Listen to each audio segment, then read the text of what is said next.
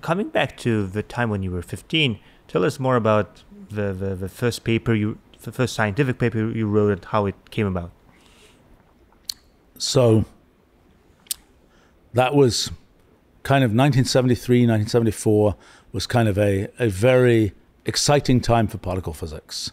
There'd been a, um, well, there'd been these sort of two opposing uh, kind of approaches to particle physics.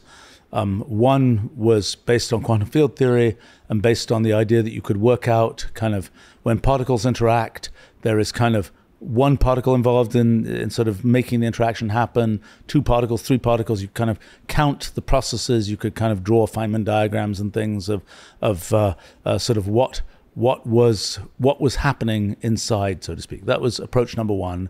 Approach number two, the so-called S matrix approach, was uh, uh, was kind of just throw the particles together and um, just uh, describe the probabilities for things happening and then work out the constraints on those probabilities.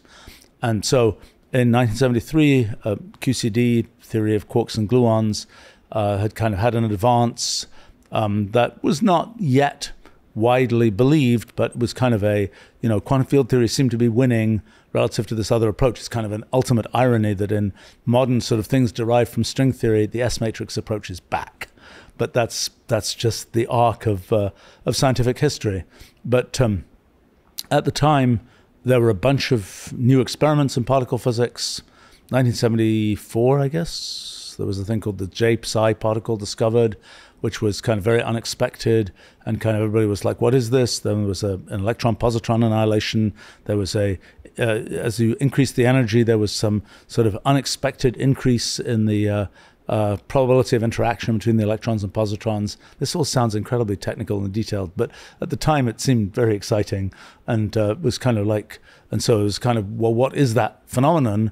And so my first effort in writing a paper was um, actually my, I, I, think my very first effort was, um, which I never published, was about uh, this um, so-called narrow resonances, these sort of particle-like things that um, uh, showed up in these experiments and it was kind of like, can I explain what's going on here? The first paper that I ended up publishing was about um, uh, what I called hadronic electrons, which is kind of a, a theory for uh, substructure in electrons, which people, the, the kind of prevailing view had been, and probably really in many ways still is, that electrons are just point particles. There's nothing inside an electron. A proton, there's all kinds of stuff going on inside a proton. But an electron, it's just a a, you know, a perfect geometrical point, so to speak. And so at the time, I had kind of a theory, turned out not to be a very good theory, that electrons had an actual size around 10 to the minus 18 meters, um, which was too small to have been directly observed at the time, but could potentially have accounted for these various observations that were made. Uh, it's sort of ironic that in modern times, I, uh, my uh, current theory of physics that developed in the last few years also implies that electrons have non-zero size, um, except that whereas I thought it might be 10 to the minus 18 meters back in those days, now it's not a very clear estimate, but maybe it's 10 to the minus 81 meters. So it's kind of a, you know, wrong by many, many orders of magnitude, but kind of amusingly the flip around of the digits.